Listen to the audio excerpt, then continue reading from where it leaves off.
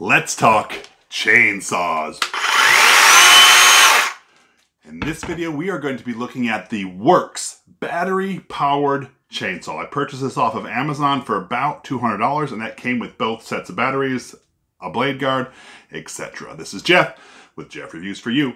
My channel is dedicated to reviewing mostly as seen on TV items. I look at some consumer gadgets, other household items, once in a while, I do a little bit of a DIY just because I like to. If that interests you, I would love it if you would subscribe to my channel and click the bell below. That way, you're notified every time I release a video just like this one. Oh yeah, one more thing. Don't forget to check down the description for my social media, Instagram, Facebook, and Twitter, and newly TikTok. I would love it if you would follow me there too. Now, let's take a closer look in this battery-powered chainsaw to see what kind of things we can cut through.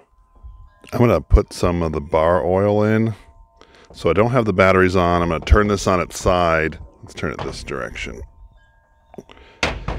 Here's where the bar oil goes. It's just real simple. Unscrew this cap. I always, always, always have a paper towel nearby because I tend to spill. But we'll see how it goes here.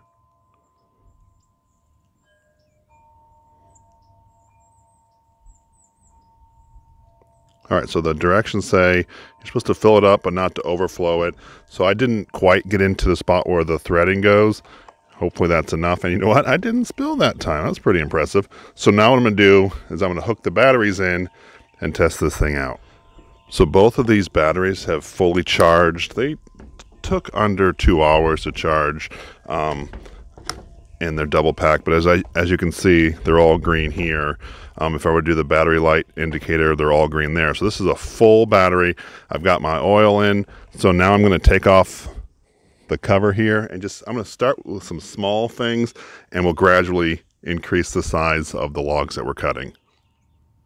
The directions do tell you to wear eye protection. They tell you to wear gloves. They even tell you to wear ear protection. Um, I'll be wearing that. I just want to make sure you knew that. I want to show you a cool thing. If you don't know how to, uh, you've never worked a chainsaw before, there's this protector bar right here where, to be honest with you, if you don't have this thing latched in, this won't even work. So you have this thing latched in back. And so if I'm cutting, it's going to get a little loud. It works, right? But if I'm sawing into a piece of wood and maybe it bites back at me, and what that means is it throws your uh, chainsaw back up, watch what happens it immediately locks it into place. And I really think that's cool. So on the side, I have my um, chain tensioner or tightener. So if I go to the right, it tightens it down. If I go to the left, it loosens it up. But it's pretty cool feature. Let's go check this out. I will get gradually different in size pieces of wood that I'm going to cut. I'm going to start with some small pieces and move on up to larger ones. I will say that the directions say do not let the blade make contact with the ground. Let's get to this.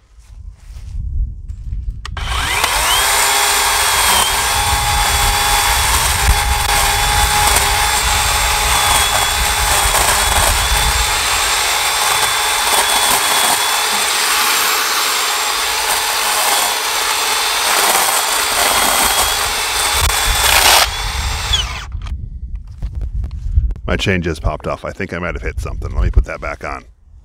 Okay, so the chain is back on. Let's try that again. I also realized that I didn't put my ear protection on, and to be honest with you, it wasn't that loud. But I do have them on now, and so I'm going to see if there's a difference. I mean, of course there's going to be, but when I used it before, it was not very loud, but I do have them on now.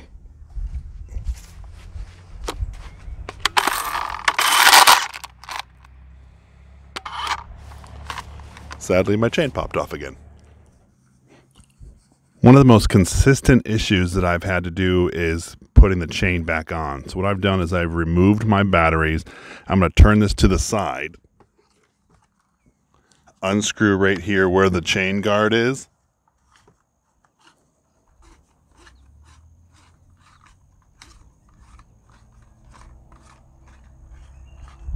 Takes a little bit of time. Right, so now what I do is I end up taking this whole thing off. Make sure when you put it back on, you have the chain in the right order, the right direction, I should say. Always have your bits going forward. So I just clean this off. I think when I'm cutting through these little tiny pieces of brush, the chain, it, the motor is just not strong enough, and it hits it, hits it, hits it, and then there's just too much of it, and so it knocks it off. I have cut some. Oop, there goes my camera. I have cut some bigger pieces that um, this thing just saws right through, but these little tiny brush pieces, it is having difficulty with. As I put the chain on, I actually get the bar here ready and just start spinning it here on the bar. I find that this is easier than trying to assemble it down on the um, chainsaw itself. So just get this to go all the way around. That's why it's important you wear gloves because these are sharp.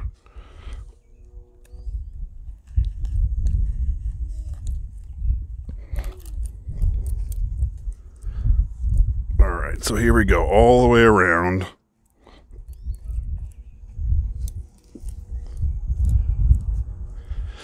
All right, now I'm going to stick this around here.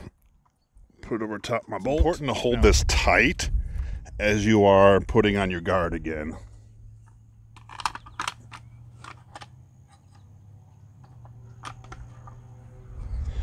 So as I'm screwing this back on now, I'm I'm putting tension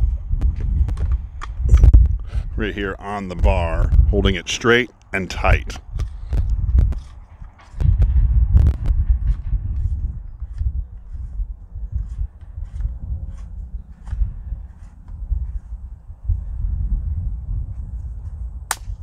Then I can slap that back down and ready to work.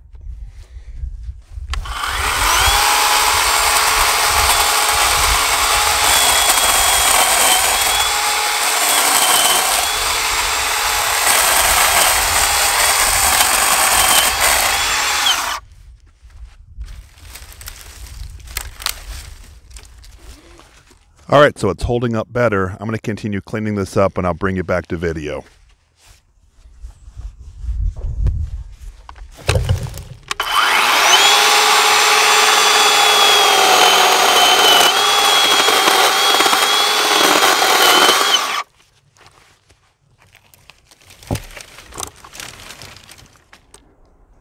It took the better part of the day and the help from a push lawnmower, but I was able to trim up all of those little shoots and branches and tree pieces that were growing up out of the ground. And check this out. A few months ago, I actually had this branch fall in a storm, and I was able to take the WORX chainsaw and lop that entire thing off. I will say that used up almost the entire battery just itself, fully charged, lopped it off. It took me about 20 minutes. So it's not meant for things like that, but it actually did it. But if I'm looking here all the way around, did a great job trimming up all these pieces. Now that I have used these batteries and they're both on just one green light. So we're going to slide this into my double charger. See how that green light lit up there? Slide this one in. I'm going to let them charge back up again and get back to work. So what do you think so far of the WORX battery powered chainsaw. I should say, I referenced it earlier, but this um, chainsaw requires both of these 20 volt batteries. But what do you think of the interchangeable series of WORX products? Does that sound cool to you? To me, it sounds really cool. You have drills and weed whackers. I even think they have lawnmowers.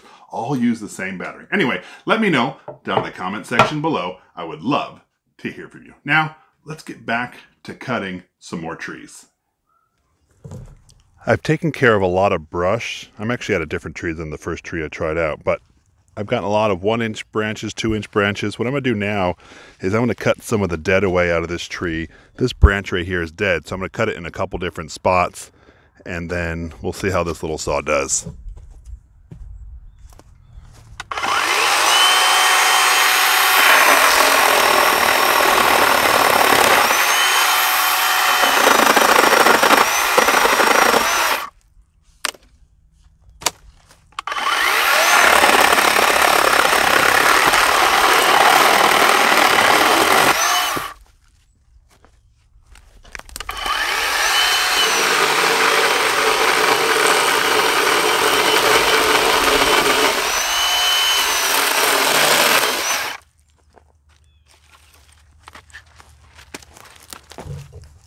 That's a pretty sizable log that this just cut through, and it did pretty good job. All right, so my total cutting time has just been about an hour and 10 minutes. I've spent the bulk of my time here on this tree, and the branches are pretty significant in size. I'm really just trying to trim this thing up. It's gone through years of neglect, and I really do like this saw. It's doing a great job. I like the weight of it. And you know what? I like when I cut and I end, the noise is over, and that's pretty convenient. I will say, after just over an hour, I'm to the point where, well, you can see my battery level. I can't cut anymore. I was actually trying to cut a few more branches, but it's done. So now I'm to go and recharge these batteries so I can get back to work. In this video, we are looking at the WORX 40 volt battery powered chainsaw. And like I said earlier, this came with both of these batteries for about $200, but they do have an option that does not include any batteries. And I think it was like 130 bucks or something like that. So if you already have batteries, there you go. You got a cheaper chainsaw. What do I think of this chainsaw? Well, is this for the lumberjack person now always cutting trees? Absolutely not. This is just, it would be a disappointment. Um, but for someone just trimming trees around their house like I was, absolutely. It was convenient. Ran for an hour, a little over an hour, charged it up, ran it again. No real problem. I was impressed that anything I needed it to cut through, it was able to cut through. I will say some of that brush that I was trying to cut through earlier where the um, chain kept popping off, that may have been better for like, I don't know, a hedge trimmer or whatnot. Um, and maybe that because the motor isn't that powerful, it kept getting stopped and stalled and it popped the chain off. But once I started clearing away the little things, the bigger ones just got lopped off. Plus, I went from bigger size tree trunks to bigger size tree, and then a huge one, and it really worked every single time. I will say I've run this battery dead or the set's about about a dozen times and then it charges right back up and I get right back to work. I've used it for a little while and I've been impressed with it thus far. As I continue using it, I will link um, updates down in the description. If this interests you, I will post a link down in the description as well. This is Jeff with Jeff Reviews for You. As always, thanks for stopping by and I hope you have a great day.